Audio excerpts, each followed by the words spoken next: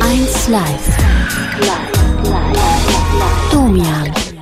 Das 1 Live Talkradio. 0800 220 50 50. Domian. Im WDR Fernsehen und bei 1 Live. 0800 220 50 50. Jo Leute, willkommen bei Domian, willkommen beim 1 Live Talk Radio zu unserer Freitag-Nachtausgabe, immer eine freie Themennacht, das kennt ihr ja. Also wenn ihr gerne mit mir sprechen wollt heute Nacht, dann meldet euch unter 0800 220 50 50 oder mailt mir unter domian.wdr.de. Der erste Anrufer heute Nacht heißt Sven und Sven ist 29 Jahre alt. Morgen Sven. Morgen, hallo. Domian. Ja, hallo. Weswegen rufst du mich an? Wegen extremer Eifersucht. Wegen extremer Eifersucht, die dich plagt? Ja, auf jeden Fall. Was ist der Hintergrund? Erzähl. Und zwar folgendes. Ich war vier Jahre, bevor ich mit meiner Freundin zusammengekommen bin, Mhm. schon in einer Beziehung. Mhm. Und ich habe ähm, meiner damaligen Freundin immer vertraut. Und dann hat sie mich, ähm, ja, auf Deutsch gesagt, beschissen. Und seitdem bin ich nicht mehr in der Lage, eine normale Beziehung zu führen. Ich kontrolliere meine jetzige Freundin so sehr, dass ich sie so weit verfolge. Wie lange bist du jetzt mit deiner der jetzigen zusammen? Äh, mit der aktuellen? Wie lange bist du mit ihr zusammen? Anderthalb Jahre. Anderthalb Jahre. Was ist denn damals die Frau, die dich so enttäuscht hat? Was hat die denn gemacht? Ja, wir haben immer gesagt, wenn ähm, wir uns ja bescheißen, wie gesagt, wie auf Deutsch gesagt, dann sagen wir es einander und sie hat es nicht gesagt und sie hat mich monatelang hintergangen. Ich Konkreter. habe damals rausbekommen und war davon sehr, sehr, sehr, sehr enttäuscht. ja. Also sie hatte monatelang ein anderes Verhältnis mit einem Ja. mit dem mit dem gleichen Mann, Ja, mit ihren Arbeitskollegen. mit dem Arbeitskollegen. Mhm. Mhm. Ähm, sie hat dir das dann gestanden. Ja, an einem ähm, Morgen, wo ich arbeiten musste. Ich musste damals um 6 Uhr arbeiten. Mhm. Und ähm, Jetzt da hat, hat es mir gesagt. ja. Bist du denn vorher auch schon mal sehr enttäuscht worden von Frauen? Abgesehen von Gar nicht. dieser gar nicht. Überhaupt nicht. Ich, wie gesagt, ich habe immer meine damaligen Freundinnen immer Mhm. blind vertraut. Mhm. Ich gehe davon aus, dass dann äh, die Geschichte damals zu Ende gegangen ist, weil du auch so äh, verletzt warst. Ja, ich war sehr verletzt. Hast du die Beziehung dann beendet? Beide eigentlich. Mhm. So, das ist die Vorgeschichte. Ja. Jetzt bist du anderthalb Jahre mit deiner Freundin zusammen und machst ganz merkwürdige Sachen, wie du gerade schon angedeutet hast. Richtig. Äh, du verfolgst sie sogar. Ich verfolge sie sogar, ja. Was heißt denn das konkret? Also ihre Mutter wohnt ähm, ungefähr 200 Meter von unserer Wohnung entfernt. Wir wohnen jetzt zusammen. Ja. Und äh, wenn sie sagt, ich gehe mal etwas zu meiner Mutter rüber, dann traue ich ihr einfach nicht. Und ich muss hinterhergehen Das heißt, du und gucken, dass sie in diese Haustüre reingeht. Das heißt, du schleichst heimlich hinter ihr her. ich schleiche heimlich hinterher. Sie weiß das nicht. Sie weiß das nicht, nein. Schleichst du auch noch äh, auf anderen Wegen heimlich hinter ihr her, wenn sie einkaufen geht oder wenn sie eine Freundin besucht oder so etwas? Ja, mache ich auch. Und ich kontrolliere, ähm, was ich damals nie gemacht habe, ihre SMS. Mhm. Okay, also du, schleichst ihr nach. Sie hat dich dabei noch nicht erwischt, Nein, noch nicht. was ja, was ja sonderbar ist, ne? Ja, eigentlich schon. So, du guckst in ihr Mobilfunktelefon, guckst die Ja. SMS an. Was machst du noch? Da gibt es so viele Dinge. Sag mal so ein paar Beispiele noch, dann kann ich mir das noch mehr vor Augen führen. Ja, wie gesagt, mit dem SMS ist natürlich aktuell und ähm, sie hat damals mal in einer ähm, Diskothek einen Job als Kellnerin angenommen Ja. und da habe ich mich sogar verkleidet und bin als Gast hingegangen, um zu gucken, Wie ob verkleidet? sie nicht irgendwie mit anderen ähm, Leuten flirtet. Äh, was heißt verkleidet? Hast du dir einen Bart angeklebt oder was? Nicht, nicht so extrem, nur ich habe mich so weit ähm, ja, verkleidet, dass sie halt nicht merkt, dass ich da bin und Das habe mich am, am Tisch gesetzt, wo sie nicht bedient. Das heißt, sie konnte dich nicht an deinen Gesichtszügen erkennen. Ganz genau. Ähm, gibt die Freundin irgendeinen Anlass zur Eifersucht? Das ist ja schlimm, das tut sie nicht. Überhaupt nicht. Sie ist dir Nein. wirklich treu und sie ist dir sehr zugetan. Ja, auf jeden Fall.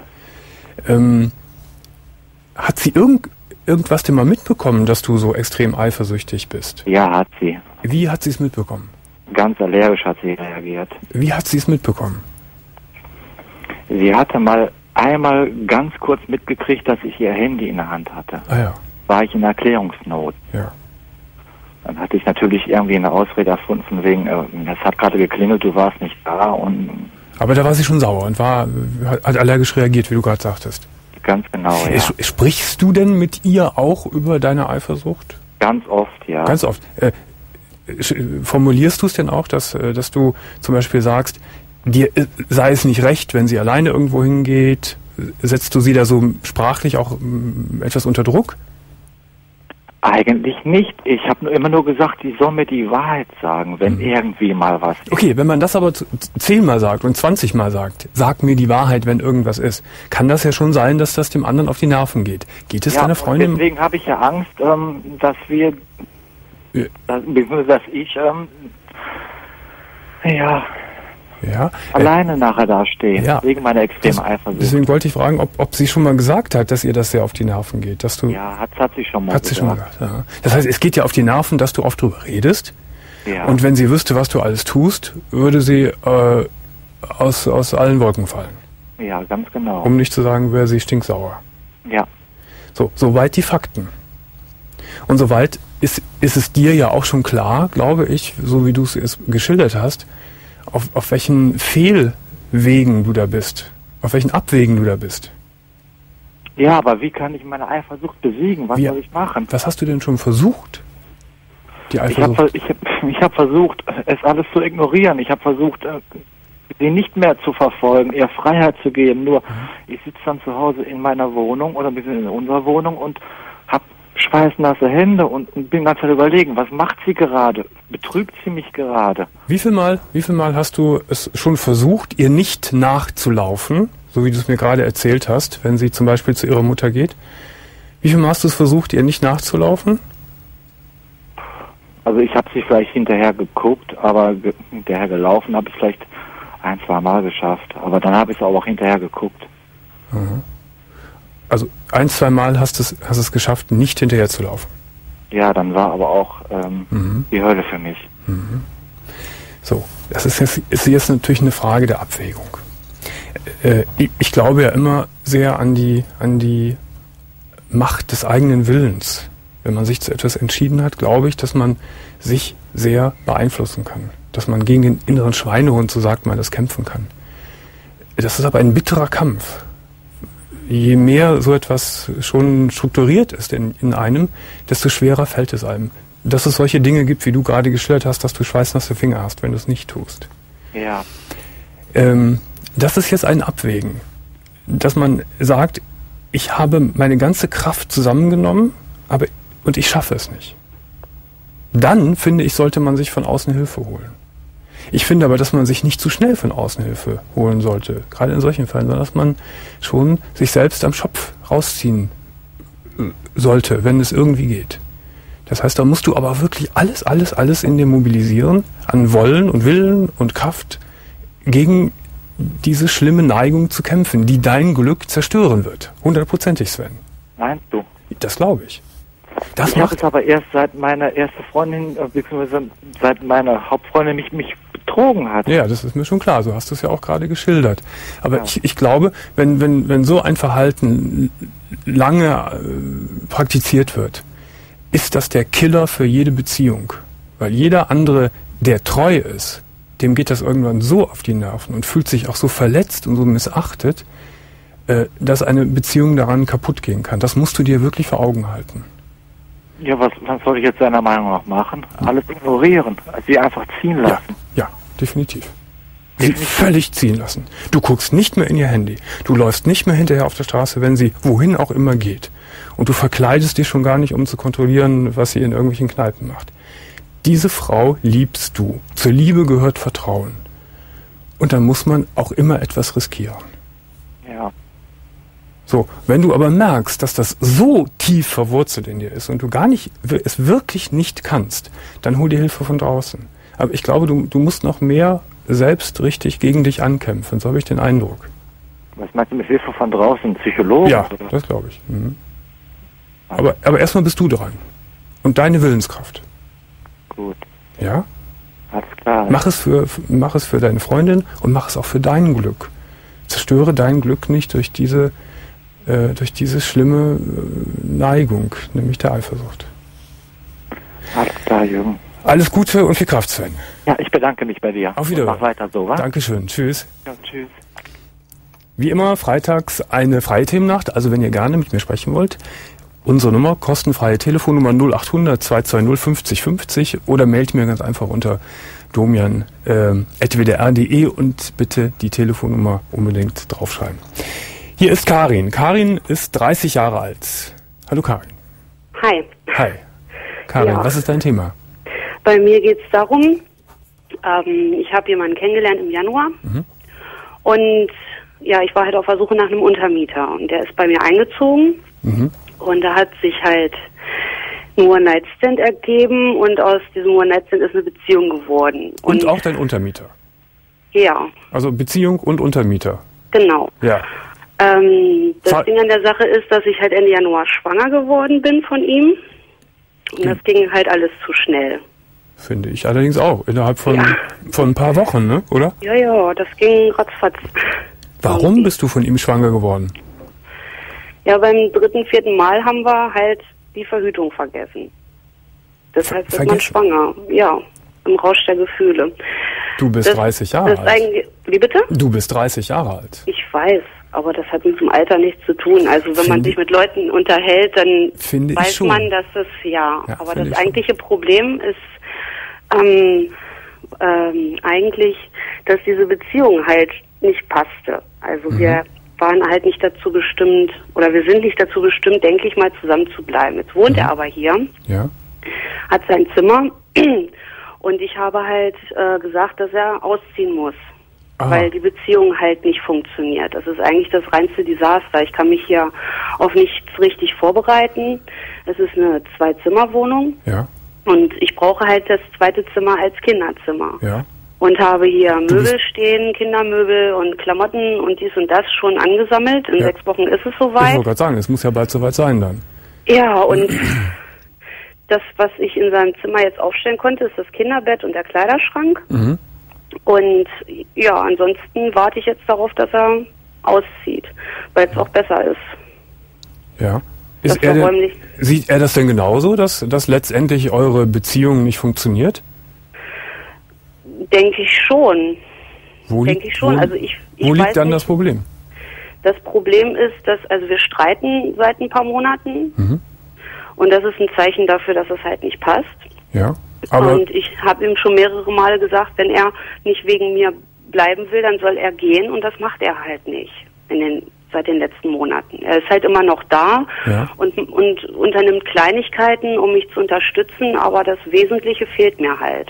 das Wesentliche heißt, er soll gehen. Ähm, Nee, das Wesentliche an der Beziehung fehlt mir dafür, dass er bleiben könnte, nämlich emotionale Unterstützung. Ja. Ja, emotionale Unterstützung ist jetzt so ein schönes abstraktes Wort. Liebst du den, den Ja, Mann? dass dann? er, dass er sich körperlich um mich kümmert.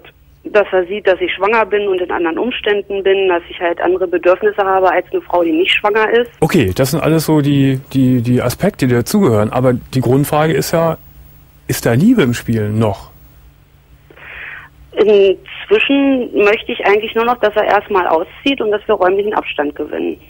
Aha, also du bist ja deiner, deiner Gefühle gar nicht so sicher. Das kann bei dir durchaus sein, dass da keine Liebe mehr groß im Spiel ist. Vielleicht. Also ich sehne mich nach ihm, dass er, dass er sich mir wieder annähert, Mhm. gefühlsmäßig. Ja. Aber dadurch, dass, dass ich mich halt alleine gelassen fühle von ihm, Ja. m, Okay, denke also ich, würde es mir besser gehen, wenn, wenn er halt räumlich erstmal geht. ja, dass er vielleicht, hier nicht mehr in der Wohnung vielleicht sehnst du dich ja auch nach, nach einem nach einem Bild, äh, das so gar nicht äh, realisiert werden kann, dass er das gar nicht so bieten kann. Aber das ist müßig, jetzt darüber nachzudenken. Was sagt er denn? Was, was empfindet er denn zu dir noch? Für dich? Ich habe ihn öfter gefragt. Ich habe gesagt, leg die Karten auf den Tisch, sag mir die Wahrheit, was los ist. Mhm. sag, was du für mich empfindest Mhm. und für mich kommt da irgendwie keine klare Antwort rüber. Er sagt halt, ich bin noch hier, ich ähm, und äh, gebe mir Mühe. Sag ich ja. Hm. Ich war schon zweimal im Krankenhaus wegen vorzeitigen Wehen. Ich darf halt eigentlich gar nicht mehr so viel machen, damit das nicht nochmal ausgelöst wird. Weißt du, wenn, wenn jemand fragt, Und er lässt Frage, mich ständig alleine sitzen. ja, wenn er sagt, äh, wenn auf die Frage, äh, liebst du die Person noch, wenn da jemand sagt, ich bin hier und gebe mir Mühe, sagt das ja auch schon wieder alles aus. Ja, So. er gibt sich, er gibt sich bei, bei Sachen Mühe, das heißt, er, er, macht, er macht halt Einkäufe für mich Mhm. und er geht für mich mit dem Hund raus. Ja, So also solche Sachen. er geht Aber jetzt zur Hand, aber das ist doch noch alles. dass er, dass er sieht, dass es mir schlecht geht, körperlich oder was, da, da lässt er, Freut- das lässt er halt so links liegen. Freut er sich auf das Kind? Er hat gesagt, er freut sich und er Ja. hat auch gesagt, er freut sich, dass es ein Mädchen ist. Ja. Aber wie du das jetzt schilderst, Karin, ist doch der Fall eigentlich völlig klar. Äh, ihr, ihr solltet so, so schnell wie möglich, und das solltest du auch noch mehr, noch mehr befördern und ihm das so klar machen, ihr solltet euch auf jeden Fall räumlich trennen. Hm. So, und dann muss man mal sehen, wie, wie sich das beruhigt. Dann gibt es ja zwei, noch zwei Aspekte in der ganzen Geschichte. Nämlich, ihr müsst ja auf jeden Fall einen, finde ich, einen wie auch geachteten, guten Kontakt miteinander pflegen, wegen des Kindes. Ihr seid nun mal die, Ja. kind, die, die Eltern des Kindes. Ja, das auf jeden Fall. So, und wenn darüber hinaus dann vielleicht noch, doch noch wieder ein, eine Annäherung der Herzen stattfindet, dann ist es umso besser. Aber die Vorgehensweise jetzt ist unbedingt räumliche Trennung. So Das wie du es auch ja. so.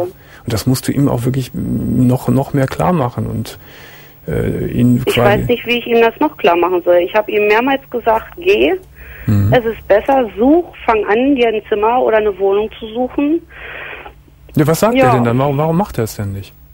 Ja, er sagt, er hatte heute gesagt, ähm, er wird ausziehen, wie es geplant war. Wie war es denn geplant? Ja, auf den letzten Drücker. Verstehe ich nicht. Also im Oktober kommt das Kind und zum Oktober soll, sollte er ausziehen. Ach so.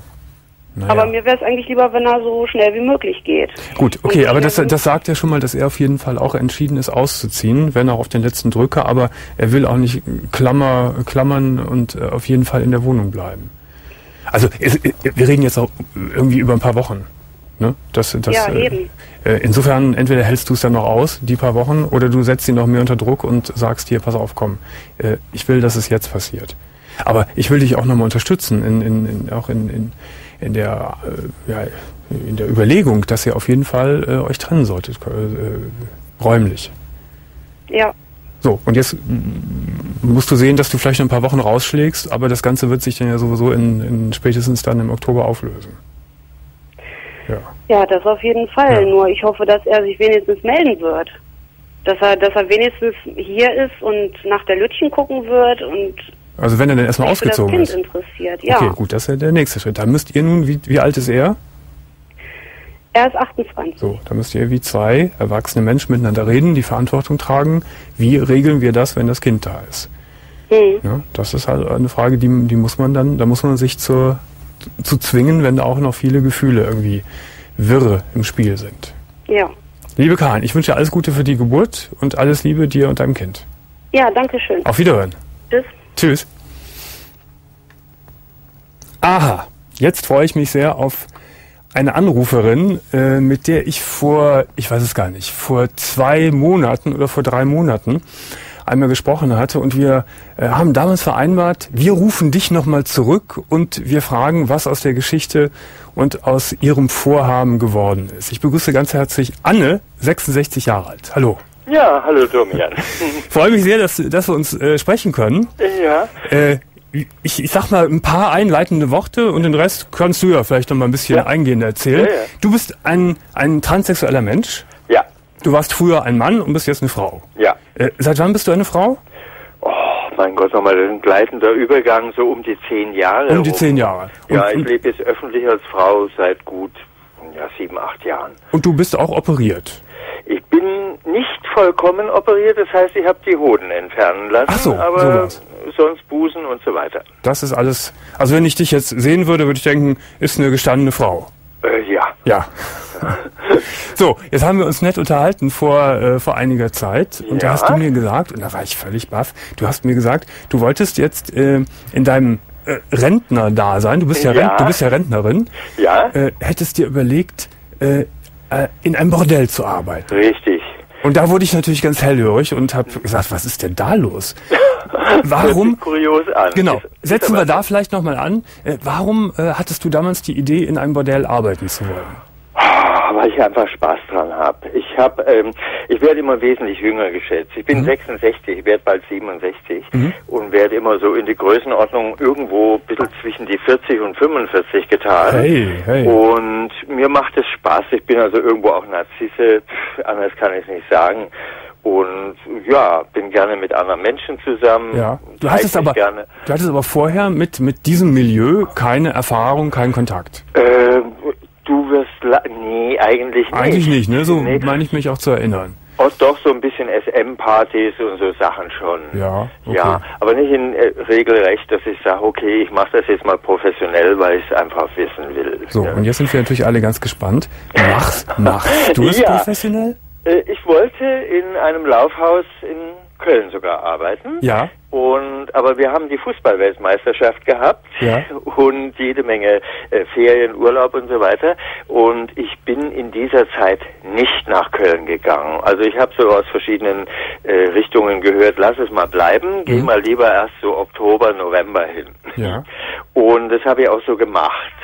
Ähm, habe aber hier inzwischen im Großraum Nürnberg Ja. eine nette Clique kennengelernt. Das ist so, mein Gott, äh, Clubbasis, mehr oder weniger privat. Ja. Und da arbeite ich jetzt seit äh, gut, naja, so drei, vier Wochen als Domina.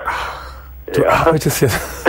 Interessant. Das ist ja schon schrill. Ja, du arbeitest seit drei Wochen, drei, Wochen als Domina. ja, einfach schön. Und so ganz professionell kriegst du auch Kohle für, für, Ja. für so ein. Das Äh, macht auch Spaß. ja. Ja, ich achte gar nicht mal so sehr aufs Geld, aber ja, es gibt halt bestimmte äh, Kunden, die wollen mich ja so wie ich bin halt haben und es ist auch viel Unterhaltung bei. Aber es macht dir Spaß. Es macht mir Spaß. Das war ja die wichtige. Ich weiß, dass wir damals drüber gesprochen haben, wo du dir auch noch nicht so ganz sicher warst, ob Ja, du genau. Spaß. Ja. Aber jetzt definitiv, es macht dir Spaß. Ich hatte Zweifel, ob ich überhaupt in meinem Alter und äh, es weiß ja rein äußerlich, aber ich höre so viel schöne Sachen. Ja. Es macht einfach Spaß. Es Und- hält einen irgendwie jung, glaube ich. Und, ein, und eine Motivation war ja auch noch, die Rente ein bisschen aufzubessern. Äh, ja, weil mh, es ist halt so, ich habe mir so ein, wie soll ich sagen, so ein kleines Mehl- und Kohlenlager umgebaut zum Wohnen. Mhm. Und ähm, ja, dann muss man halt doch hier und da noch ein bisschen was tun. Achso, also ein Eigenheim, ein kleines Eigenheim, was, äh, was das Geld kostet und dann ja, kann was man heißt Eigenheim? Das ist halt äh, Mehl- und Kohlenlager von der Bäckerei gewesen. Also Wohnzimmer ist schon, sagen wir mal, 50 Quadratmeter aus Balken. Ha- Hast du das gekauft oder? Äh, ja, ja. Hast du das gekauft? Ah, ja. Mhm. Ja, ja. ja, ja. Und auch da helfen mir einige Leute mit. Es macht einfach Spaß. So, jetzt aber nochmal zu, deinem, zu deiner Domina-Tätigkeit. Du bist Mhm. Domina, das heißt, du bist äh, äh, Sexualität bei dir passiert nicht. Äh, nein. Nein. Äh, ja und nein. Es kommt auf den Kunden an.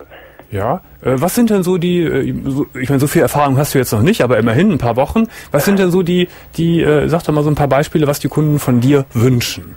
Ah, na, erstens mal altersmäßig so zwischen 27 und 45. Ja. Am interessantesten sind die ähm, Verheirateten Ja. und ja, Wünschen, Bestrafung und Es sind, äh, es sind Männer, ne? verbal. Es sind Männer, die zu dir kommen. Ja, ja, hm. ja, ja. Also verbal, indem du, indem du sie beschimpfst, Äh, erniedrigst. nee, nee, erniedrigen. erniedrigen, Äh, äh, mhm. zum Beispiel, mein Gott, nochmal festbinden, anmachen Ja. und äh, mal ganz offen sagen, äh, aufgeilen und dann im Regen stehen lassen. Ja, Und ja. so wie ich es will. Ich halte die Spannung, wie ich es will.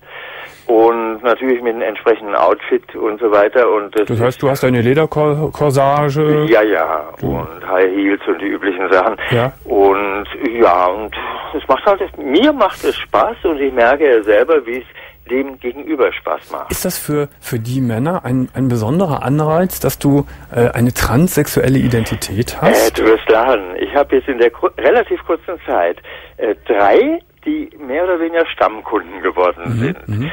Und da habe ich auch erstmal von meiner, also naja, Chefin, zu hören gekriegt, Mensch, bist, bist du nicht doof, mach das, weil ich gesagt habe, ja, der war doch schon mal da und so weiter. Nee, nee, mach das und ja, warum denn nicht? Ne?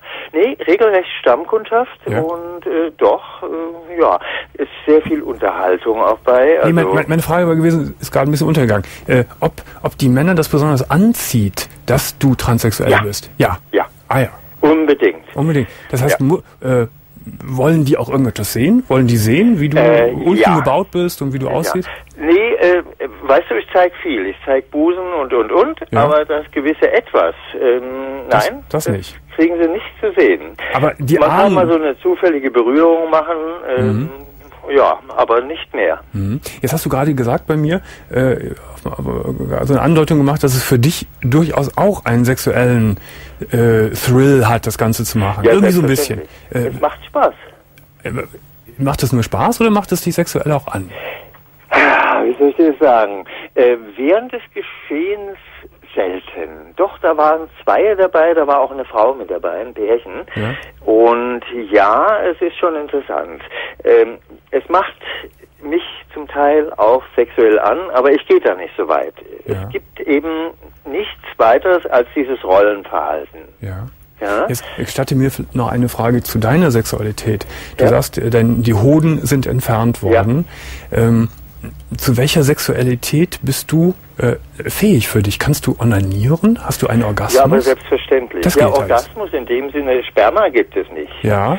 Aber ähm, ja, ansonsten hast du voll das volle Gefühl und, und alles. Kriegst, ja kriegst du auch eine Erektion? Ja, ja. Ja, Das mhm. ist ja auch einer der Gründe, warum ich sagte, in meinem Alter lasse ich nicht mehr nicht mehr äh, komplett umoperieren. Ah ja. Ah, ja. Weil das Risiko ähm, doch irgendwo bei zwei Prozent Ja. liegt.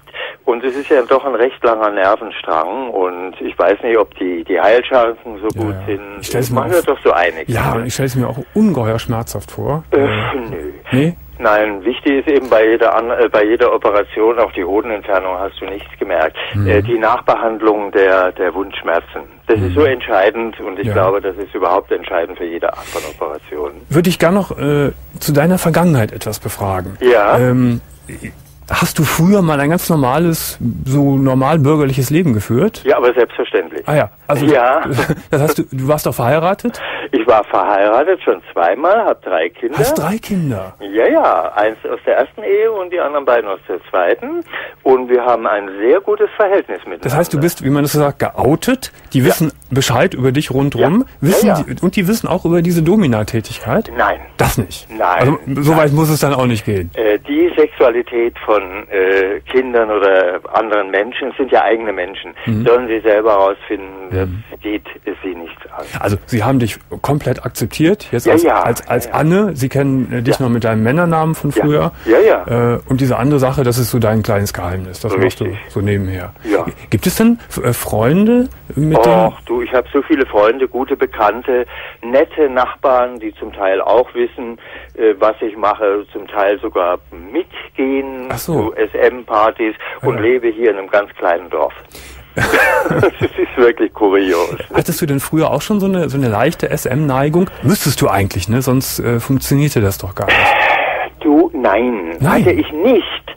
Hatte ich absolut nicht. Erstaunlich. Es ist reizvoll. Ich meine, so Spanking und diese Dinge, äh, okay, mal ausprobieren. Ich habe selber auch Verschiedenes dann ausprobiert, aber auch alles erst eigentlich in den letzten zwei, drei Jahren an mir selber. Das heißt, ich würde niemals irgendwelche Dinge machen, die ich nicht äh, selber kenne. Ja. Also was heißt Schmerz? Es geht ja um den äh, den vermeintlichen Schmerz. Ja, ja. Zum Beispiel, wenn du jemanden ähm, in irgendeinem Raum äh, zum Beispiel einem Swingerclub oder so, arbeite ich ja auch zum Teil dann, äh, anbindest und er weiß, er wird von mehreren beobachtet und hat eine Augenbinde an und du machst nur mit ihm Verschiedenes und du lässt ihn dann einfach mal stehen Mhm, oder mhm. so und äh, ich sage immer, we- wenn die Erektion am stärksten ist, höre ich auf. Ja, das sind eben Also meine speziellen Gemeinheiten. Ich finde schon interessant, äh, dein spätes Erwachen. Kannst du richtig sagen. Das kann man sagen. Du bist in, in, in, sexuelle Feinheiten äh, dieser Art. wie soll ich dir das erklären? Ich war beruflich sehr stark eingebunden, bin auch mit Sicherheit kein unbekannter Mensch gewesen. Darf ich fragen, was du beruflich so die Branche ungefähr gemacht hast? Ähm, mh, Chipdesign. Ah, ah ja.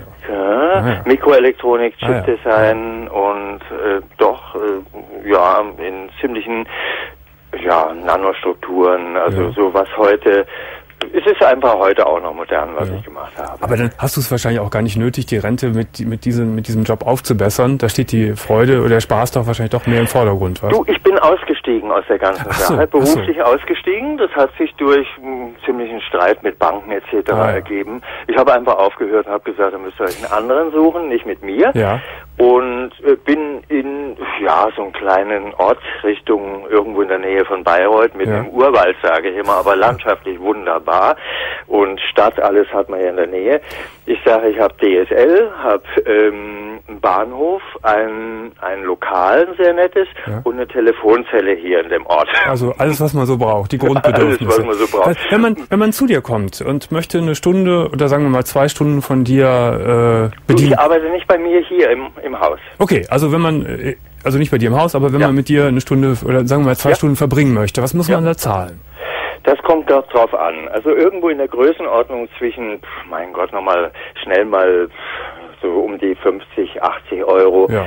Und ansonsten, wenn es meistens sind es ja doch ein Abend oder so, wenn also so Pärchen und ich habe auch eine gute Bekannte, die mitmacht. Ja.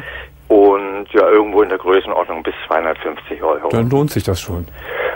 Ja. Liebe Anne, ich gucke auf die Uhr, die Zeit rennt Ja. weg. Das ist so interessant mit dir zu sprechen. Äh, Ja. Da vergeht die Zeit wie im Fluge. Ja. Ich freue mich sehr, dass wir nochmal gesprochen haben. Ach du, das hat mir auch Spaß gemacht. Und vor allen Dingen freue ich mich, äh, dass du etwas äh, gefunden hast, was dir wiederum Freude bereitet. Ja. Und das ist ja schon ein sehr, sehr skurriles Leben, was du da führst und eine sehr skurrile ähm, Biografie. Und es ist ein Jungbrunnen. Und das ist ein Jungbrunnen. Ja. Ich wünsche dir alles Liebe, alles Gute Ja. und äh, viel Erfolg und viel Spaß weiterhin. Ja, danke dir. Und Domian, weiter so. Toi, toi, toi. Liebe Anne, Dankeschön. Bist ein Spitzentyp. Dankeschön. Ja, Tschüss. okay. Mhm.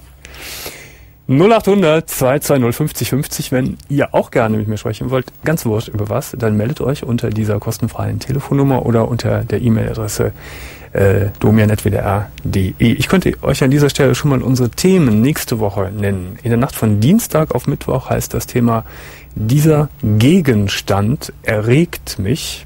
Und in der Nacht von Donnerstag auf Freitag nächste Woche heißt das Thema Knochen. Äh, ich möchte mit euch rund um das Thema Knochen sprechen. Hier ist äh, die Helene. Stimmt das? Helene? Ja, Hallo Helene, 60 Jahre bist du alt. ja, guten. Abend, Domian. Schön, dass du da bist. Ich freue mich. Ja. Weswegen rufst du mich an, Helene?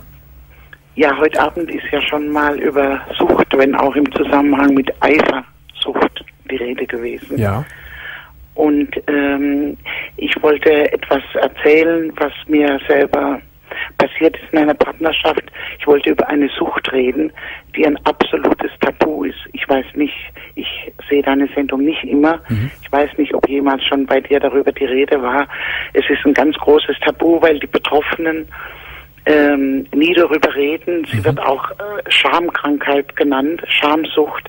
Sie ist noch nicht offiziell anerkannt als Suchterkrankung, Ja. obwohl es eine wissenschaftliche Untersuchung gab letztes Jahr in der Charité in Berlin. Ja. Und zwar ist es die sogenannte Sexsucht. Sexsucht. Äh, leider Gottes sagen die meisten Leute, wenn sie das hören, oh, so eine schöne Krankheit hätte ich auch gerne mal, weil sie vermuten dahinter, dass es dabei, dass diese Menschen also süchtig sind nach Sex, also nach dem schönen und nach ein- in meiner Meinung nach schönsten Sache der Welt. Bist, bist du denn selbst betroffen davon? Nein, ich bin nicht betroffen, aber ich hatte einen Partner, von dem ich mich jetzt getrennt habe, Ja. ähm, mit dem ich anderthalb Jahre, wenn auch nicht räumlich, ständig äh, zusammen war, weil er in einer anderen Stadt lebt. Und er ist sexsuchtkrank, Wie alt äh, ist dein Partner gewesen? Oder ist er? 50. 50 Jahre. Ja. Wie Und hat sich denn diese Sexsucht bei ihm bemerkbar gemacht? Ja, ähm, ich muss noch äh, dazu äh, kurz, damit es äh, gut ver- verstehen kann, Ja. ich sagen, ähm, er ist alkoholkrank und Ja. Sexsucht taucht sehr, sehr oft in Kombination mit Alkoholerkrankung, mit Ach. Alkoholsucht auf. Das wusste ich auch noch nicht. Und wird, weil es so tabuisiert ist, Mhm. äh, wird darüber nicht mal in den Selbsthilfegruppen von Alkoholikern gesprochen. Mhm. Also ich bin zum Beispiel in eine Selbsthilfegruppe gegangen für Angehörige Mhm. von Alkoholkranken Ja. äh, und äh, konnte über mein Thema überhaupt nicht reden. Das ganz große Problem ist, man schätzt, die Wissenschaftler schätzen, dass ungefähr 500.000 Betroffene in Stopp, Deutschland stopp gibt. Wa warum konntest du nicht reden? Weil die anderen das nicht wollten? Haben die Nein, weil, weil niemand überhaupt äh, versteht, was, was Sexsucht so. ist. So, jetzt aber noch zu deinem Freund zurück. Wie, Ja, wie hast ja. du das gemerkt, dass er sexsüchtig ist? Also ich habe überhaupt, ich habe zuerst mal von ihm erfahren, als ich ihn kennenlernte. Wir haben uns übers Internet kennengelernt. Mhm. Äh, und du weißt, wie das geht. Das geht eine ganze Weile und bis man sich überhaupt sieht, man spricht lang. Ja. Äh, dann später telefoniert man. Ich, ich, ich habe gemerkt, dass er Probleme hat, aber ich wusste überhaupt nicht, welche Art von Problemen. Hat er denn am Telefon auch schon viel über Sex geredet? Nein, Nein. überhaupt nicht. Ah, ja. Überhaupt nicht. Gar nicht. So, es also- geht bei Sexsuchtkranken auch niemals um Sex mit einem Partner. Sondern? Sex, die Sexsucht ist etwas, was sich nur in der Fantasie des Betroffenen abspielt und äh, zum zwanghaften Onanieren führt, bis zu 50, 100 Mal am Tag im Zusammenhang mit äh, Pornos oder mit Internet. Das ist jetzt zum Beispiel äh, für diese Leute besonders leicht zugänglich. Ja. Da müssen sie nicht mal mehr. Ich muss mal eben kurz, kurz unterbrechen. Also, so, soweit ich schon mit Sexsüchtigen gesprochen habe, die das von sich gesagt haben, gab es auch Leute, die äh, unglaublich viel Sex praktiziert haben, auch mit anderen Menschen. In dem Fall deines Freundes war es anders. Er hat Ja, so, so oft onaniert.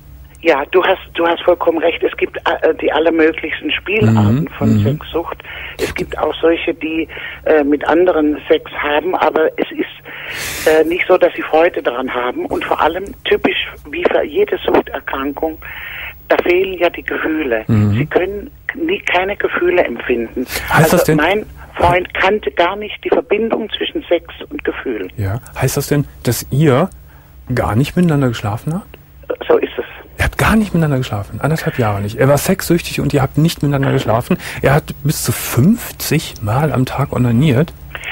Ähm, ja. Äh, Aber äh, dann, dann das- ist doch all, dann ist doch alles blutig. Und, Äh, frag mich nicht. Ich habe ihn natürlich, das hat bei mir eine Weile gedauert, bis ich überhaupt äh, einen Namen für dieses Problem Mhm. hatte. Ich dachte am Anfang, das sei Ausdruck dieser Alkoholerkrankung. Das hat eine ganze Weile gedauert, bis ich überhaupt begriffen habe, dass das nichts mit dem Alkoholismus zu tun hat. hat er dir das denn dann irgendwann gestanden? Ja. Er, hat Ja. dann, er hat darüber gesprochen. Ja, er, Mhm. äh, ich habe also weder was das Alkoholproblem angeht, je äh, irgendeine Kontrolle oder ich habe nur gleich, am, als ich es erfahren habe, am ersten Tag unseres Kennenlernens gesagt, das ist dein Problem. Du musst aber wissen, wenn du in meiner Gegenwart auch nur einen Tropfen trinkst, bin ich zur Tür raus. Ah, denn das Alkoholproblem hat er gleich am ersten Tag offengelegt. Und Äh, er hat von dem Tag an nicht mehr getrunken. ah ja. Wann hat er denn zum ersten Mal über diese Sexsucht gesprochen? äh, nachdem ich äh, nach einer Weile voller Erstaunen, ich habe natürlich gemerkt, es ist nicht so, dass wir nicht ins Bett gegangen sind. Mhm. Wir waren ja sehr verliebt. Ja. Ähm, und er ist ein großer Verführer vor dem Herrn. Und Ja. dann denkt doch jede verliebte Frau, jetzt geht gleich die Post ab. Genau. Und ähm, Aber die ging nicht ab. ja, bei ihm schon. Also äh, im Grunde, äh, das habe ich ja alles erst im Laufe der Zeit festgestellt, er ist früher zu Prostituierten gegangen. Er kennt keine andere sexuelle Beziehung. Moment, langsam. die, Jetzt, ihr liegt im Bett und er, er, er, er, lässt sich bedienen. er lässt dich bedienen. Das heißt, du hast ihn, du hast ihn, ihn, ihn befriedigt mit der Hand. Ja. Und es kam- Oder was immer. Bitte? Gibt ja viele Möglichkeiten, ja. Okay, ja, oder was, was auch immer, genau. Ja, Äh, ja, aber, äh, man, aber kein aber es Geschlechtsverkehr. Ja, aber kein Geschlechtsverkehr. Nein. Und äh, hat er dann irgendwann zu dir gesagt, dass er so oft am Tag zusätzlich auch noch alleine onaniert? Ja. Also er hat nicht keine Zahl genannt, aber äh, er hat mir, er hat es mir, ohne dass ich ihn überhaupt je danach gefragt habe, Ja. weil ihn das natürlich unglaublich bedrückt hat. Er fühlte sich wahnsinnig schuldig, Okay, das heißt, hat diese sich Zahl- irrsinnig geschämt. Die Zahl, die du gerade genannt hast, die traf nicht auf deinen Freund zu. Nein. Nein. Nein. Das, das hast du gelesen. In, in, Ja. Achso. Mhm. Ich habe natürlich, ich bin so, sofort zur Suchtberatung gegangen. Ich bin Ja. also überall hingegangen, um mir Hilfe zu holen. Wie oft hat, mich- wie oft hat denn dein Freund äh, onaniert? Dann zusätzlich noch. Ich bin natürlich nicht dabei gewesen. Nee, aber hat Und ich habe ihn auch nicht danach gefragt. So, aber ach so. er hat mir bestimmt einmal oder zweimal am Tag gesagt, dass er ins Internet zum Beispiel gegangen ist. Konnte er denn erklären, warum er keinen Geschlechtsverkehr mit dir wollte, sondern nur diese andere Form der... Nee, er wollte. er wollte, er aber wollte- es ging er- nicht. Ja. War eine Blockade. Aber nicht etwa, weil er impotent war, ganz im Gegenteil. Ja, ja. Ähm, er hat es einfach nicht, er hat es nicht verbinden können miteinander. Das ist vollkommen abgespalten. Mhm. Auch die Gefühle, zum Beispiel Zärtlichkeiten oder so. Mhm. Ich habe dann festgestellt, das ist für ihn nur die Brücke, um dahin zu kommen, was er möchte. Mhm. Aber das ist nicht ein Bedürfnis aus ihm heraus gewesen. Das heißt, du hast nicht ein einziges Mal eine erfüllte Sex Sexualität erlebt in den anderthalb Jahren. Nein, Warum ist diese Beziehung dann zu Ende gegangen? Hast du sie beendet? ja. Äh, er hat dann äh, nach relativ kurzer Zeit, also kurz äh, im Verhältnis zwischen, ähm, wie es also in der in der Regel dauert es zum Teil Jahre, bis die Partnerin äh, ähm, oder äh, ihren den Betroffenen dazu kriegen, dass er was unternimmt gegen die, den Alkoholismus. Er hat eine nach vier Monaten eine äh, Alkoholtherapie gemacht. Aber ich unterbreche mal eben. Du hast, hast doch gesagt, dass er schlagartig aufgehört hat zu trinken, als er mit dir zusammenkam.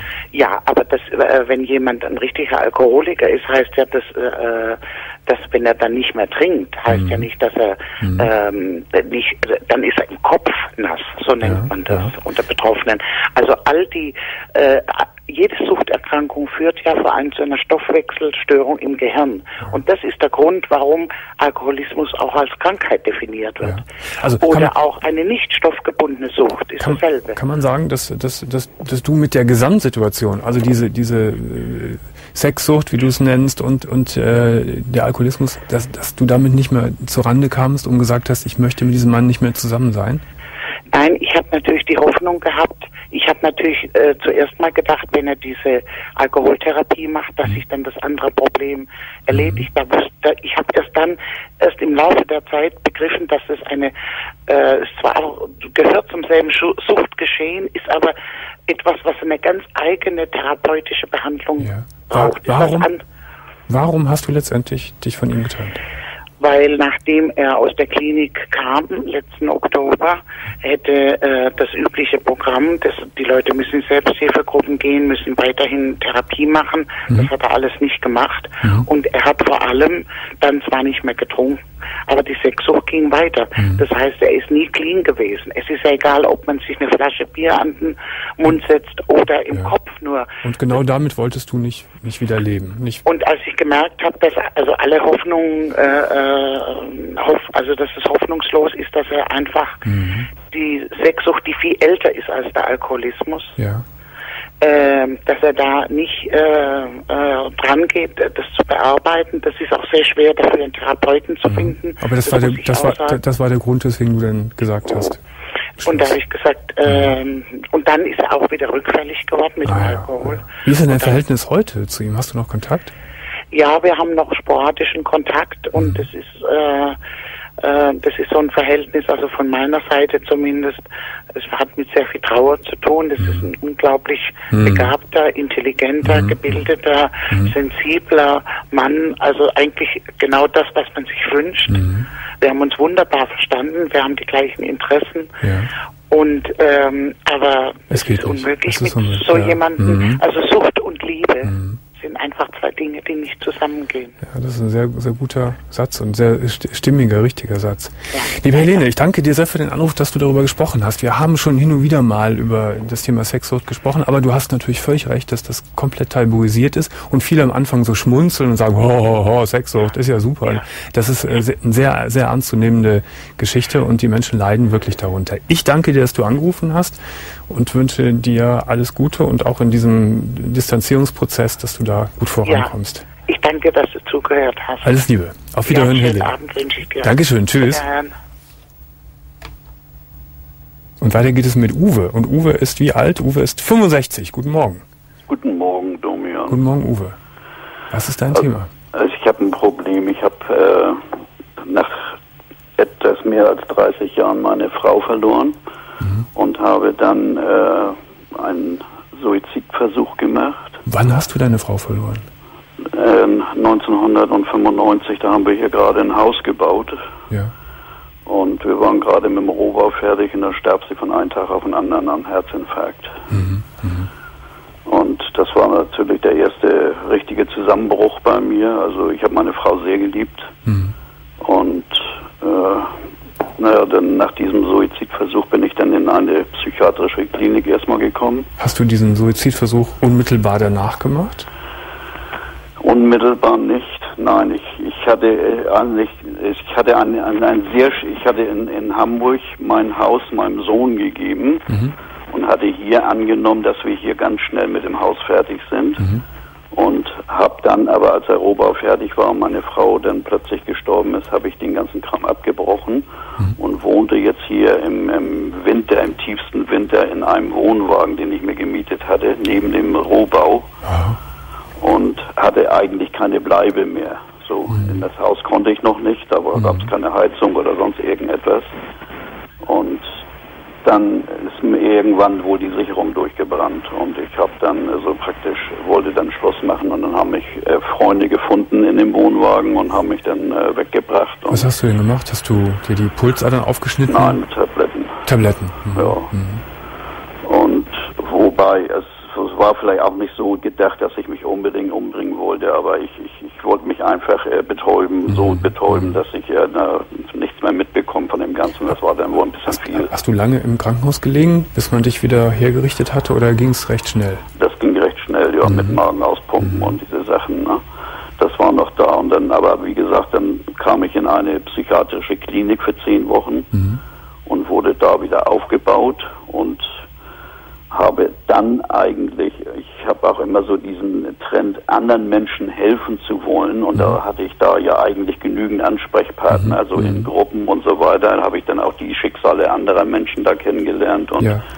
und da habe ich dann eine Frau äh, kennengelernt, also wir hatten irgendwie, hatten wir den, das, das war, als wenn wir schon ewig zusammengehörten mit einmal. Plötzlich, also haben wir den ganzen Tag zusammengekluckt und wir haben über unsere Probleme gesprochen und äh, sie hatte natürlich noch mehr Probleme wie ich. Sie hatte schon drei Ehen hinter sich und, und aus drei Ehen drei Kinder und, und na jedenfalls haben wir uns dann auch immer wieder sporadisch getroffen. Ich bin nachher vorher entlassen worden, äh, zwei Wochen eher wie sie. Ja. Und äh, dann hat sie da sogar, als ich entlassen wurde, schon den ersten Suizidversuch gemacht.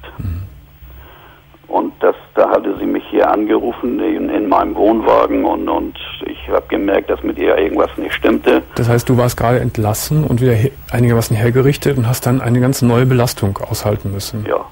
Ja. ja. Und dann habe ich, im, im, wie gesagt, äh, dann, äh, die, die Klinik da angerufen. Ich habe dann noch zu ihr gesagt, sie soll es schnell wieder auflegen, damit ich wieder telefonieren konnte. Und habe dann die Klinik angerufen und dann ist sie auch da rausgeholt worden ins Krankenhaus und ist dann wieder, also praktisch ist das dann wieder gut gegangen.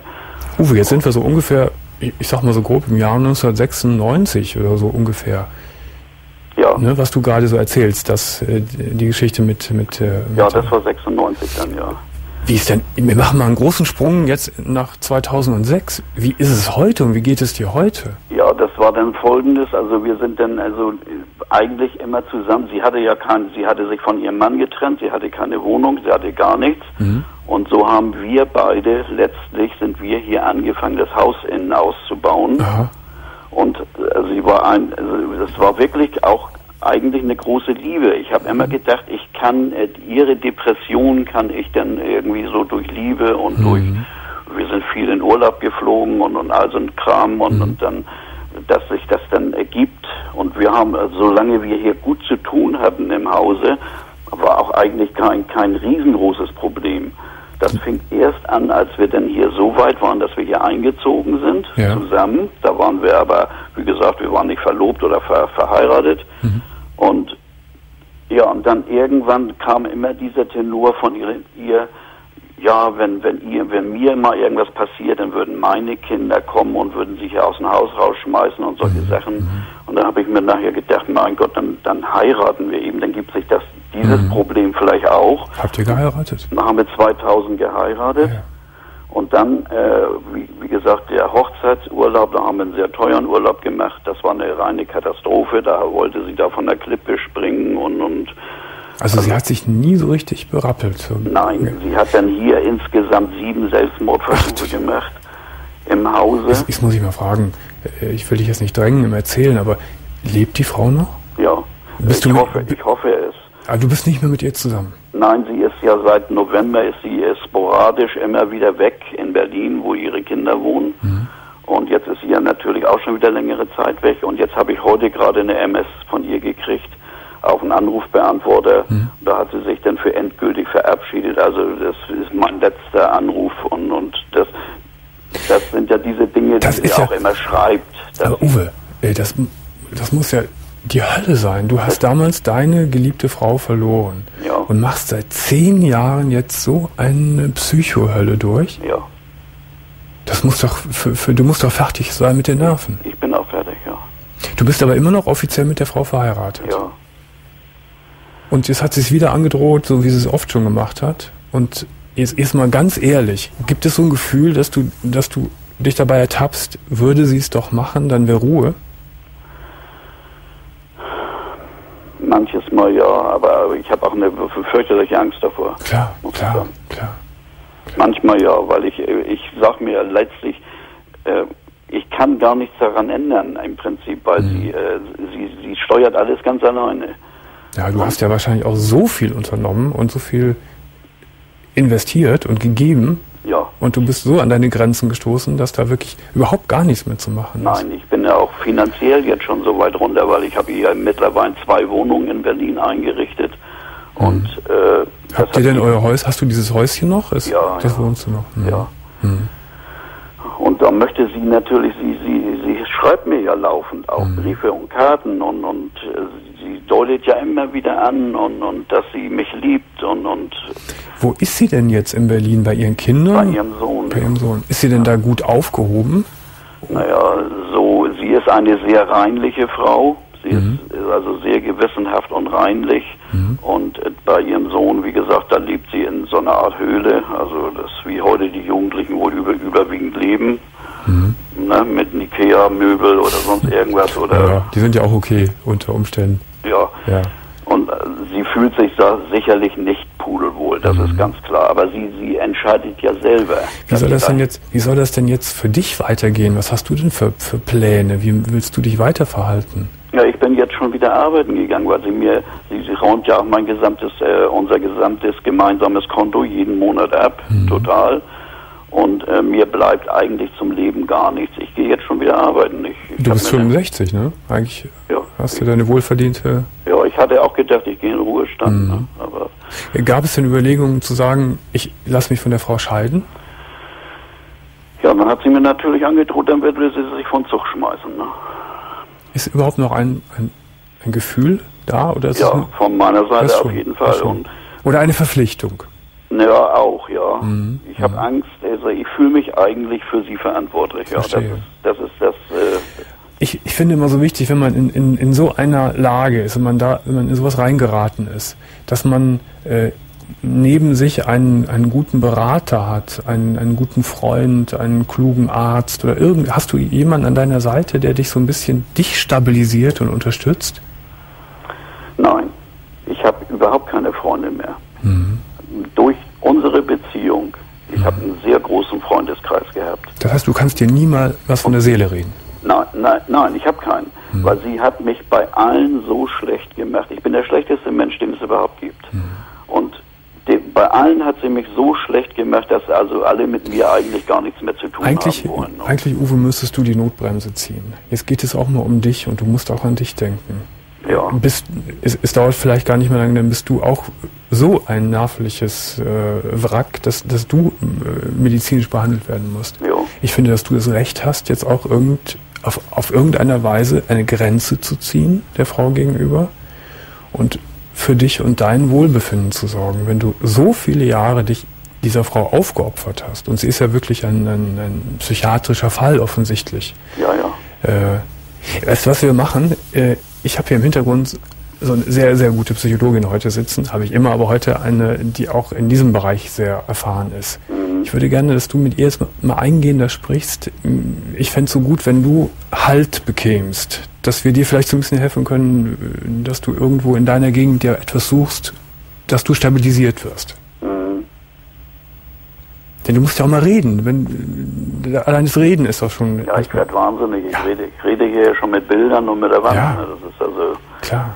Weißt du, und, und unsere Redezeit ist ja leider auch nur relativ Begrenzt, begrenzt. ja. Ja, deswegen möchte ich dich auch jetzt nicht abwürgen oder, oder einfach so schnell verabschieden. Mir liegt wirklich daran, dass du jetzt mit, mit der Magdalena, mit meiner Psychologin weiter berätst. Sie hat das Gespräch mitgehört und dann kann man gemeinsam drüber nachgedacht werden. Ich sag dir mal so aus der Ferne, so aus, aus meinem mehr oder weniger gesunden Menschenverstand dir, denk an dich jetzt mal. Und das kannst du mit gutem Gewissen tun. Du brauchst kein schlechtes Gewissen haben. Mhm. Ja? Okay. Lieber Uwe, du legst auf und die Magdalena ruft dich zurück. Ja, schönen Dank, Domian. Alles Gute, Uwe. Ja. Tschüss. So, jetzt haben wir hier jemanden aus Frankreich, nämlich Jean-Claude. Jean-Claude ist 28. Guten Morgen. Hallo. Hallo. Guten Morgen. Wieso rufst du aus Frankreich an? Wie kommt's? Weil ich Franzose bin. Du bist Franzose. Ja, ja, ich bin Franzose. Das klang jetzt gar nicht so. Ja, wir wohnen hier ziemlich äh, nah an der Grenze zum Saarland. Ah ja. Und deshalb, Und da könnt ihr auch deutsches Fernsehen empfangen, klar? ja, ja, ganz klar. Ja, gut, heute über Satellit. Satellit, ja, ja sicher, natürlich. Es geht ja in ganz Europa. Ja, Jetzt- weshalb ich eigentlich anrufe, Ja. mein, also es verknüpft sich eigentlich mit der Sendung von gestern Abend. Ja? Und zwar, mein Großvater ist im Juni gestorben. Mhm. So, jetzt wollte ich dir nur mal mitteilen, dass eigentlich durch ihn sind wir auf deine Sendung gekommen. Durch den, durch den Großvater. Durch, durch den Großvater. Also der war jetzt dieses Jahr 81. Mhm. Das hat damals vor, ich weiß nicht, acht Jahren ungefähr angefangen. Vor zehn also, Jahren. Also wir haben vor ja, zehn als, Jahren angefangen, als, ja. Als er uns angesteckt damit hat. Ach so. Und äh, das wollte ich dir ein für sich nur mal mitteilen, weil er war wirklich ein großer Fan von dir. Mhm, mhm. Und äh, er hat sich jede Nacht, also am Anfang immer nachts noch die Sendung um die Ohren gehauen. Mhm. Die letzten Jahre ging es dann halt nicht mehr so durchs Alter, da konnte er nicht, abend, nicht mehr abends so lange aufbleiben. So, Entschuldigung, ich bin, bin ein bisschen nervös. Ja, ja, ist ja völlig normal. Aber das, das, äh, finde ich sehr rührend, was du da erzählst. Das freut mich. Und Freut mich äh, sehr. das war, also ich wollte, ich wollte schon, dass du das weißt, weil Mhm. ich wollte ihm hiermit an für sich noch eine kleine Ehre setzen, Mhm. wenn man das so sagen kann. Das ist sehr schön, dass du das machst. Ähm, ist dein Großvater plötzlich verstorben? Äh, Oder war er sehr krank? Nee, plötzlich an für sich nicht. Er ist vor, also letztes Jahr im August hat es angefangen, wo er langsam krank wurde. Mhm. Und äh, da kam dann eins aufs andere. Es wurde immer schlimmer. Zum Schluss haben dann die Nieren auch versagt. Mhm. Und die letzten Monate hat er an für sich nur noch im Krankenhaus verbracht. Warst du bei ihm, als er verstorben ist? Wir wurden dann abends angerufen, weil er war dann die letzten Wochen auf der Intensivstation. Mhm.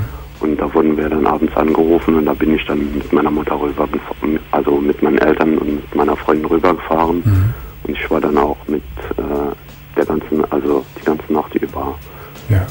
am Bett. Hast du den Eindruck, dass er gelitten hat? Oder ist er eher ruhig eingeschlafen? Ich will sagen, es war an für sich eigentlich ruhig, weil die letzten, die letzten, also der letzte Tag, die letzten zwei Tage war er, da war er gar nicht mehr ansprechbar. Mhm. Die Augen waren zu und äh, also es wurde nur noch äh, per Maschinen wurde er am Leben erhalten. Also ich, Das- auch wenn es sich krass anhört, es war vielleicht, also es war eine Erlösung für ihn. Dann denken wir jetzt nochmal alle gemeinsam ganz intensiv an deinen Opa. Ja, danke schön. Und ich freue mich, dass ich das noch erfahren habe von dir, dass er ein großer Fan hier von unserer Sendung war. Ja, also wie gesagt, er war wirklich, er hat keine Sendung verpasst. Der war, er hat sie sich immer auf, auf Video aufgenommen, hat sie sich dann morgen zum Frühstück ange